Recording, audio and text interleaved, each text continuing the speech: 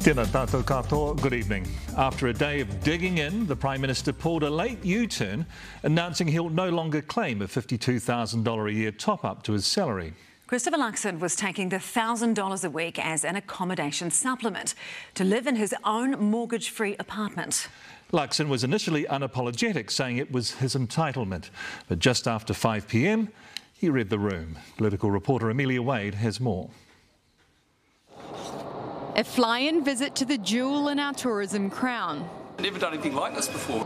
Amid claims Christopher Luxon's lost touch of what's happening on the ground. Do you live at Auckland? I do live in Auckland, yeah. The Prime Minister famously has seven houses. His family home is in Auckland's most prestigious suburb, Remuera.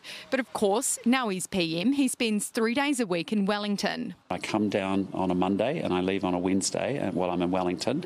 Uh, that's why I live in my apartment. Among the seven Luxon properties, an apartment owned outright, directly across the road from Parliament. He's decided that's a much nicer spot than this one, which is just used for official duties like hosting cricketers. Is not my house, it's the Prime Minister's house. He has the option of living in the grand historic Premier House afforded to Prime Ministers to live in. As Prime Minister, I'd like to live there. Uh, Premier House has got maintenance issues and I can't live there at this point in time. Premier House certainly needs some maintenance work, but there is nothing in that report that says it's uninhabitable. Not only has Luxon turned up his nose at the free house, he's charging the taxpayer $1,000 a week to live in his own, claiming 52 grand a year accommodation allowance to live in his mortgage-free apartment. Anyone outside of a greater Wellington area is entitled to the entitlements. Really leaning on the fact he's simply entitled to it. An entitlement. It's an entitlement that I have, and I'm just entitled to the entitlements that everyone else has. Just an entitlement. They're part of an entitlement for an out of Wellington MP. It's an entitlement, and I'm well within the rules. Christopher Luxon's treating hardworking Kiwis like a bottomless ATM. He needs to apply his own tough love standard to himself. The $52,000 top up to his half million dollar PM salary is tax free.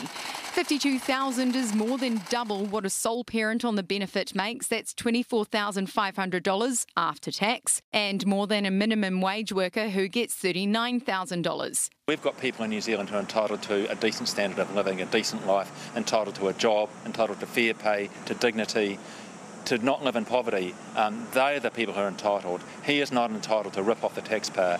The revelation comes on a day when one of his own cabinet ministers was boasting about the government's austerity focus. What we've been really focused on is getting some fiscal austerity back into the game and making sure that law and order... Some fiscal austerity? Fiscal is that what we're eyeing up? No, austerity. Fiscal, fiscal austerity and responsibility. I don't think Christopher Luxon should be claiming this allowance. I think it's absolutely hypocritical. We have to get a culture of fiscal discipline in place, and that's the way we get our inflation down, we get our interest rates down, we get our economy growing ultimately as well. And after that day of digging in at 5:10 p.m., the Prime Minister did a U-turn, saying that it was clear his taking of the allowance was becoming a distraction, so he would stop taking it and repay what he had already received. But you have to question the political antenna that he didn't see in a cost of living crisis when Kiwis are doing it so tough that spending taxpayer cash on himself was tone deaf. Amelia Wade, Newshub.